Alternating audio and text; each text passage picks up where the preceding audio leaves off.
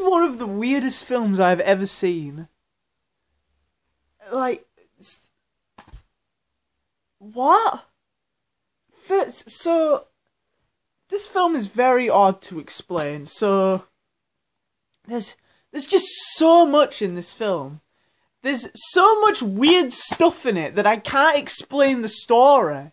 There's a star girl and witches and people getting turned into goats and mice and goats getting turned into people and there's and there's a king and his sons and and they slit each other's throats and their blood is blue for some reason.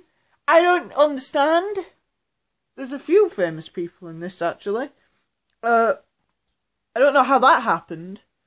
And there's just actually recommend this film because some of the stuff that happens is just ridiculous. Like they're standing on clouds and there's pirates in a flying boat, and the captain is gay, and he's wearing.